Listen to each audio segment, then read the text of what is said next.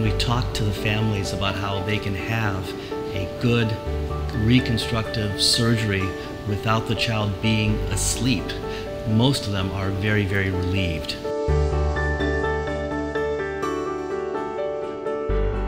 Today we're here for urology surgery.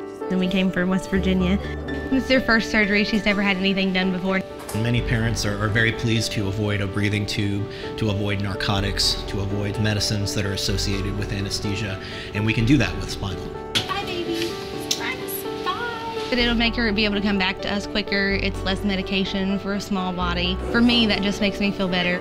We use a local numbing medicine like you would get at the dentist, and we put a small dose of it in the spinal fluid, which allows us to make a child numb from about the belly button down. All right, you ready, my dear? It's just a one time injection with a very, very small needle. Within the operating room, you'd think it would make things more difficult, but really it's a lot more fun. A lot of us will play lullabies on our iPhones or just play with the child.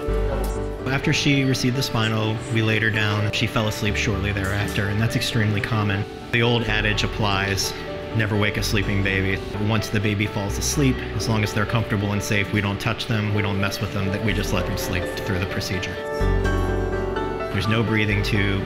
We're not giving her any supplemental oxygen, so she's breathing room air just like you and I are. If she starts to get a little fussy, we will play with her. We are one of the most progressive and aggressive programs with the use of spinal anesthesia in the country. We are doing more spinal anesthetics than any other institution in the world, perhaps, on a month to month basis. One of the things that allows us to be on the cutting edge here at Nationwide Children's is that we kind of push the boundaries of what's been done in the past. We are providing spinal anesthetics for all different types of surgery, all different types of children from day of life one all the way up to kids that are uh, a few years of age. Everything went perfectly. She slept through the whole thing. We're still in the operating room and she's not on any oxygen. And she doesn't require any additional medicines. Obviously, she's very comfortable.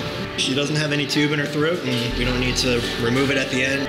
She just goes straight to the PACU, the recovery room, where she's ready to be reunited with mom. Now that is a comfortable baby. She'll start to regain her motor function, be able to move um, probably in the next hour or so. Hi, baby. If we had to have anything like this done again, I think it'd be the better options. From what I hear, she slept through the whole surgery and she seems pretty content now. Excited to hold her again so soon.